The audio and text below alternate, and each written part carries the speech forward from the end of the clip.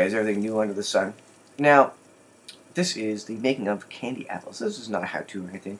I just had these clips uh, left over and I thought I'd uh, get them out there for you, just for interest sake. So we bought a candy apple kit from kit from the grocery store just for sort of a Christmas thing, to something new on a cold day. And um, you can see all the instructions there, pretty basic.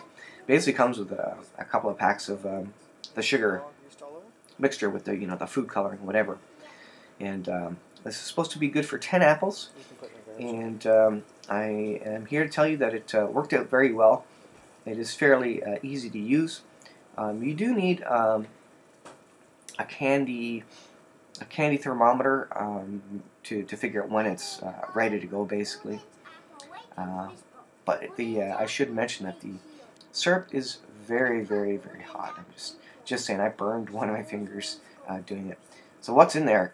Corn syrup solids, artificial flavor, Allura red. So if you're allergic to uh, food coloring or you know non-natural ingredients, there you go. So there's my my uh, candy thermometer, and you just put I think like uh, one or two cups of water into it. That's all you need. Uh, you just add it to it. It's basically a, a, big sugar mix. And here I got my apples. Um, I got them all cleaned up, ready to go. Kids are excited about this. I only had about six apples left. So it took a it took a while to get up to temperature. Um, it bubbled along. You don't really have to stir it per se. The kind of bubbling uh, stirs itself, and it comes with the popsicle sticks, of course, all nicely wrapped up in cellophane. So here it is getting a little hotter. You can see it's starting to get in the green on the left hand side there. And so I got it up to just about about 145. Um, you're supposed to get I think 150 is the ideal temperature or something. I, I uh, basically started. I took it off the heat at about 145, I think and that seemed to work uh, work out quite well for what we were doing. Getting close there, still bubbling. Very, real simple recipe, although I wouldn't recommend it for kids helping to make it because it's so hot. Like I say, I, I burnt my fingers doing it.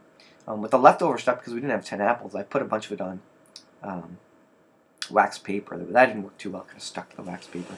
But here it is. I didn't get uh, the video of rolling it, but you just stick the popsicle sticks in the apples and then roll them in the uh, pot kind of on its side and cover them all and put it on a grease sheet and they come off real nicely off the grease sheet. You just kind of torque the grease sheet and uh, they just look like candy apples you'd buy from the carnival. They turned out really well. I really liked them. The kids um, found they were too sugary actually, but anyways, it worked out well. So um, yeah, that's our candy apples. The, um, they worked out very well, just like any candy apple you'd buy at the store. And uh, so if you're not allergic to the colors and flavors and all that kind of stuff, I, I, I recommend trying it just for fun. It makes really nice candy apples. Thanks for watching, guys. Um, we'll see you guys in the next video.